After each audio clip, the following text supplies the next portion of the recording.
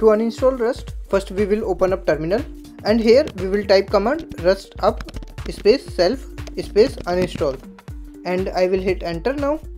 Now I will press Y in order to continue the uninstallation. The uninstallation is successful. Now we will verify some of the folders related to Rust whether they are deleted or not. If they are not deleted then we will manually delete them. Otherwise if they are already deleted then it's fine so I will go to the home directory first. So I will type cd here. And here we will list down all the files and folders including the hidden folders. So I will say ls space hyphen a. And here we will look for the dot cargo and dot rustup folder because they are already deleted from here.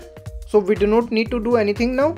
The rust uninstallation is successfully completed. I hope the video was useful to you